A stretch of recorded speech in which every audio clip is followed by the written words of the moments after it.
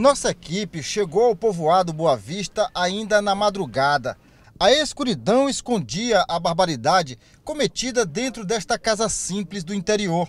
A polícia militar guardecia a área para evitar a contaminação da cena do crime.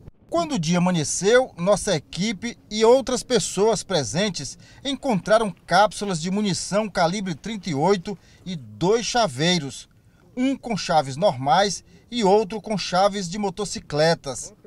Às 6h30 da manhã, chegam os peritos do Instituto de Criminalística. A imprensa é afastada e começa a perícia. Primeiro, no morro em frente à casa, possivelmente a rota de fuga dos assassinos. Depois é feita a perícia no interior da casa. Aqui nessa casa fica, desde já, registrado a maior chacina já ocorrida em território piauiense.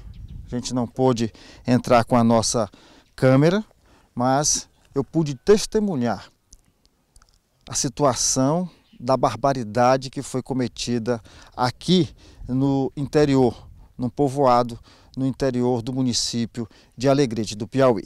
Quase 14 horas após a chacina, chegam as ambulâncias para a remoção dos corpos. Pois nesse momento é retirado o primeiro corpo entre as vítimas da chacina. O corpo foi envolvido aqui num, numa lona de plástico e está sendo conduzido para uma das ambulâncias. Os moradores do povoado Boa Vista de Cima, no município de Alegrete do Piauí, ainda estão chocados com a chacina que vitimou seis pessoas na noite desta terça-feira. O que, é que o senhor acha que aconteceu? Rapaz, eu sei, não sei dizer não, porque não. Foi vingança? Não sei dizer não. Primeira vez que aconteceu isso? Foi. Que eu soube foi. O que, que o senhor acha que aconteceu? Por que, que aconteceu esse crime aqui? Rapaz, eu não sei como. Eu não sei não. Esse povo aí, eu, eu para mim, sei não. Não sei por que foi que aconteceu uma coisa dessa não. O senhor viu aquela cena, se deparou com todos esses corpos deitados ali, estirados no chão. O que, que o senhor sentiu? A gente sente, a gente é ser humano, a gente sente assim um, aquela, aquela coisa ruim por dentro, aquela, aquele choque, aquela sugestão, aquele problema, aquela sugestão, mas é o que é que pode fazer? O que está feito não tem o que fazer. Seu Cícero Felipe se emociona ao falar do amigo, também Cícero, que morreu na chacina. O senhor sempre vinha aqui? De vez em quando, né? Não era direto não, porque a gente vive trabalhando, né? Mas aí que a gente passava aqui, a gente passava aí. O senhor chegou a ver ele morto? Não, ainda não. Mas quando soube, o que, é que o senhor sentiu? Não, uma emoção.